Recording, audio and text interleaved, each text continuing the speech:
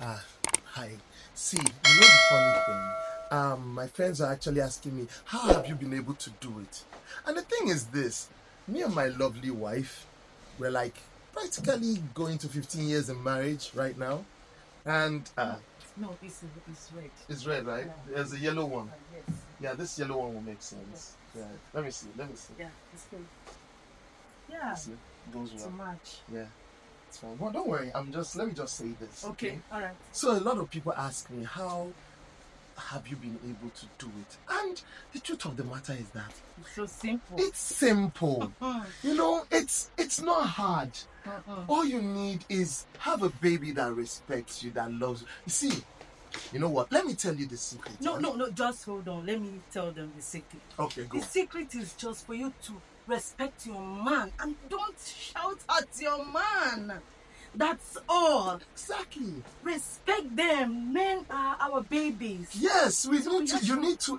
You know, show I the. lo- still talking, baby. I'm still talking. Oh, okay, okay. Yeah. And it's fine. Yeah, It's fine. so- Go ahead. So, um, you see, you know what's going on in this our country already. Men are suffering. This our economy and stuff is telling on them. Many of them, eighty percent of them are in depression already. So, Most men carry the the whole. baby, I'm still talking. I'm not done talking. Yeah, just um, allow me to talk. Okay. Okay, Yeah. sorry, sorry. Okay. Yeah. So, uh, as I was saying, make sure you don't shout at your man.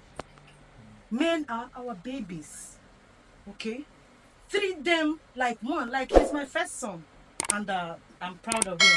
Um, uh, you know, 15 years is not a joke. It's not uh, like uh, 15 days.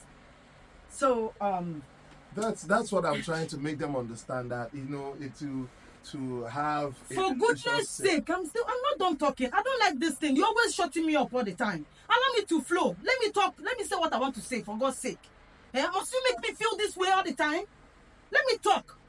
For God's sake, like I was as I was saying, respect your man. Treat them well. If he comes back from work, you ask him, "Do you want to eat before you eat, or you want to eat before you eat?" You know. so you you just make them feel. Don't make them feel bad. Make make them feel important at all at all times. Okay. So um, like as I was saying, are you are you with me?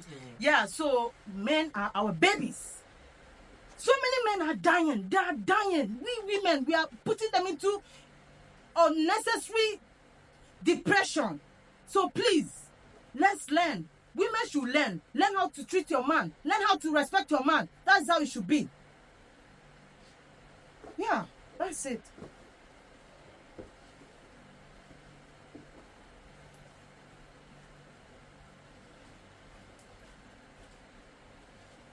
Okay, ladies and gentlemen, that's um, that's I knew you were going to talk again. Can't you just leave this matter the way it is? Can't you just leave this matter? You're always making me feel as if I'm not making sense, making me feel as if I'm I'm I'm, I'm going mental. Why are you like this?